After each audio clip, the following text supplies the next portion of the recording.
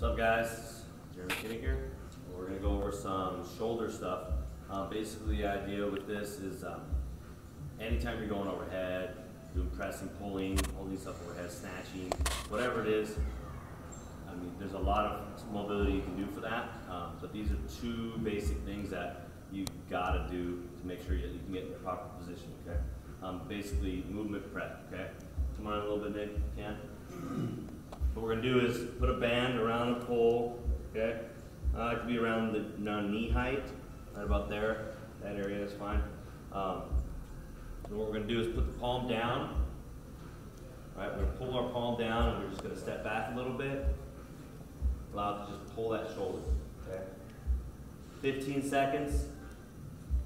Then we're gonna turn sideways. Let it pull, 15 seconds. Then I like to go a little bit farther, wrap it around. 15 seconds. The whole time keeping this palm open, your hand open and that palm, palm down, okay? So we hit that 15 seconds on all three of those. And I like to open it up. hold up that chest a little bit. Again, the palm's open still. And then after that, come up into this position it's pulling straight back. That palm straight up now. Leaning forward. it's opening up right here. Open. 15 seconds again. Come back on this side, Nick. Then we're going to turn away. Just let it pull behind the head. Again, 15 seconds. Okay. It's really simple, but uh, I've had a lot. I have a lot of shoulder issues, or I've had a lot of shoulder issues, and just those movements when Nick and I started doing those daily, um, or just you know anytime we're doing stuff overhead, which is pretty much daily.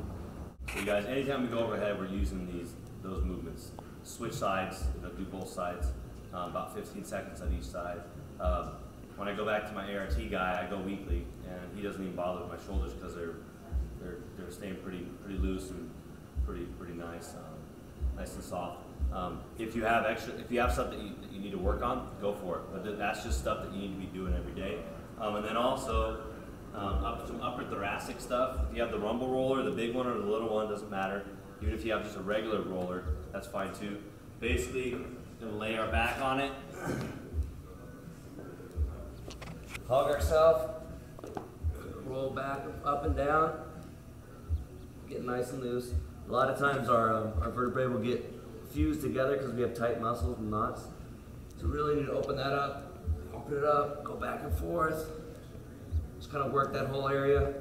Um, and then I like to go overhead, work that as well. You'll find a lot of junk back here. But anytime you're going overhead, you've got to do this. You've got to be able to open up that upper thoracic so you can get the proper position. Um, these two things, that band, the, the band stuff, and this, this should, this should be done every time you go overhead. Hug. If you have some lat issues, go to roll up the lats. We can get on here and go back and forth, but you can check all that stuff out um, if you have other issues. But those are two basic things we got to be doing every day, you guys. Okay? Keep you loose. Make sure we're, we're nice and supple, um, and spread some butter. Later.